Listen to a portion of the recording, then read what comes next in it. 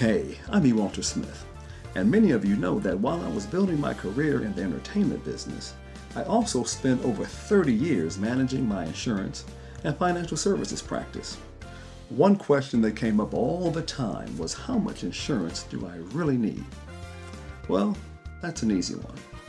How much do you really love somebody? so, if you want a quote or just want to talk about insurance, wealth building, and legacy planning, take a moment right now, right now, and go to saygoodbyewithasmile.com. Say goodbye with a smile.